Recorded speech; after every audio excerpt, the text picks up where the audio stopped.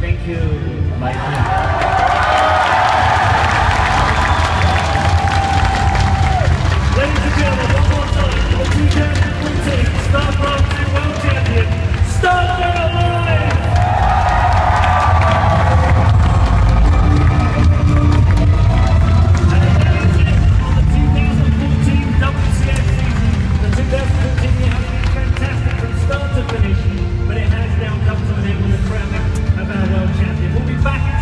2015 for more WCS, course, and this time we'll be back in defending this title.